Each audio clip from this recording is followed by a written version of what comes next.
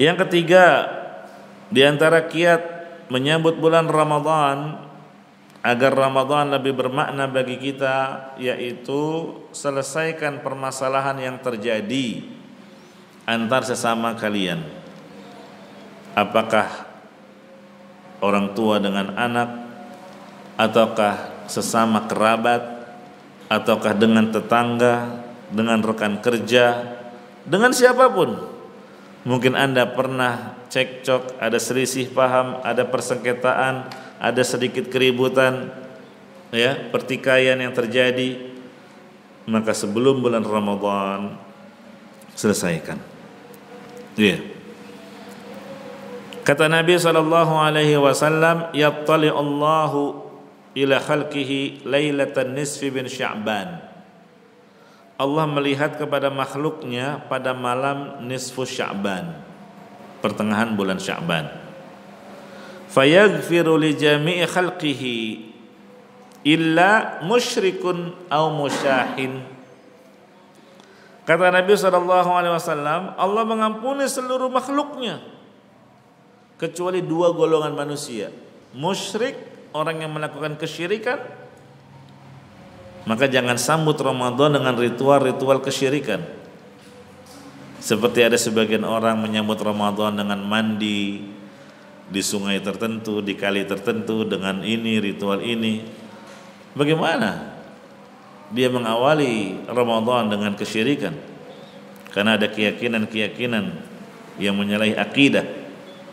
Padahal di sini termasuk yang dikecualikan tidak mendapatkan ampunan Allah adalah musyrik dan yang kedua adalah musyahin. Ini yang menjadi sisi pendalilan kita dalam hadis.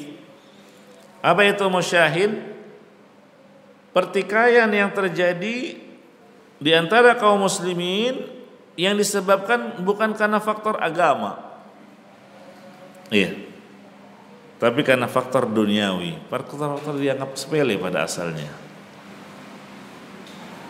تعرض أعمال الناس في كل جمعة مرتين يوم الاثنين ويوم الخميس Dalam riwayat Muslim, Nabi Shallallahu Alaihi Wasallam bersabda, amalan manusia dihadapkan kepada Allah setiap pekannya dua kali, yaitu hari Senin dan hari Kamis. Makanya ada sunnah puasa Senin Kamis.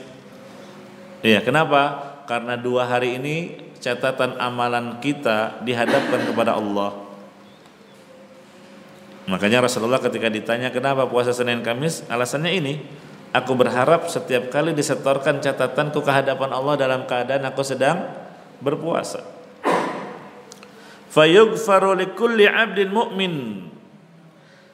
Dan setiap hamba yang beriman akan diampuni oleh Allah illa 'abdan bainahu wa baina akhihi syahna kecuali seorang hamba yang masih ada permusuhan dengan saudaranya. Fayuqalu utruku hadaini hatta yafi'a. Dikatakan kepada para malaikat tinggalkan dua orang yang masih bertikai itu, yang masih bertengkar itu sampai keduanya berdamai. Iya.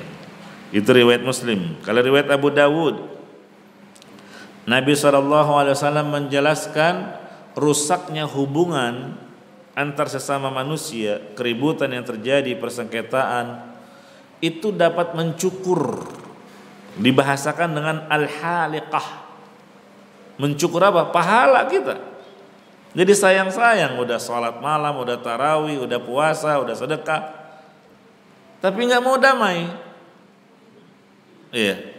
Maka rusaknya hubungan ini mencukur pahala Anda. هذا صراط مستقيم.